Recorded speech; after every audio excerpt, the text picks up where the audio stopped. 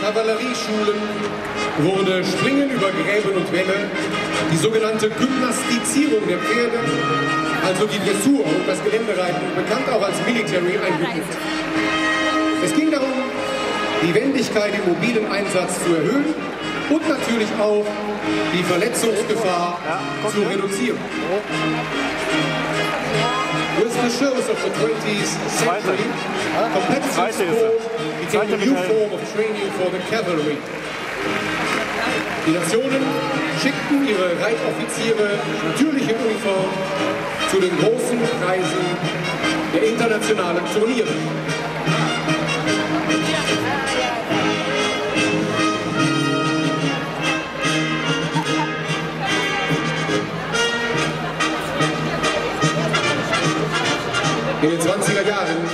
Hießen Dressurprüfungen übrigens noch Eignungsprüfungen für Reitpferde. Hierbei wurde der Ausbildungsstand von Reiter und Pferden überprüft.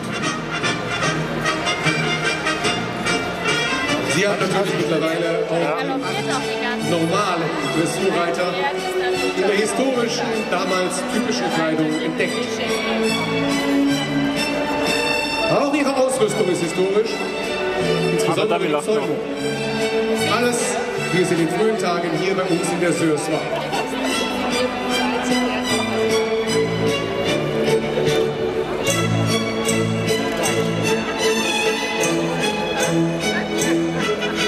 Die Fachleute unter Ihnen werden es bemerkt haben, auch der Sitz ist aus der guten alten Zeit. Sie alle werden mir recht geben, das ist eindeutig die sogenannte, genau, Stuhlhaltung. Ladies and gentlemen, I would now like to draw your attention to the four historical carriages in the ring. Diese Gespanne zeigen die Vielfalt der zur damaligen Zeit in den Fahrwettbewerben eingesetzten Kutschen. Tatsächlich haben die Kutschen beim Aachener Turnier eine lange, lange Tradition. In den 20er und 30er Jahren machten die Fahrprüfungen 25 Prozent des Prüfungsangebotes aus. Schon die Turnierordnung des Internationalen Reitturniers Aachen aus dem Jahre 1928 war ein stattliches Regelwerk. Ich blättere gerne mal hinein für Sie. Da wurden nicht nur Gangwerk, Temperament, Ausbildung und gegebenenfalls Zusammenpassen der Pferde bewertet. Da ging es auch um Bauart und Beschaffenheit von Wagen und Geschirr, aber auch, Achtung, um Anzug und Haltung des Kutschers. Ja. So war das damals schon.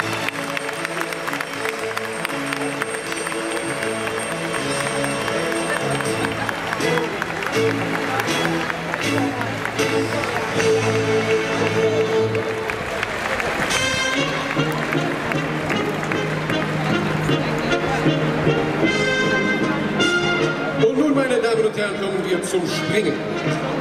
1928 wurde in der Kavallerieschule Hannover ein Springstall eingerichtet, der den italienischen Springstil, den sogenannten Caprilli-Stil, zum Vorbild hatte. Sie sehen das hier.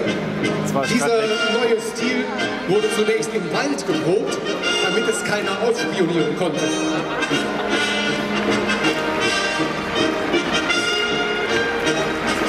Auf internationalen Turnieren zeigten sich fast ausschließlich Soldaten in Uniform.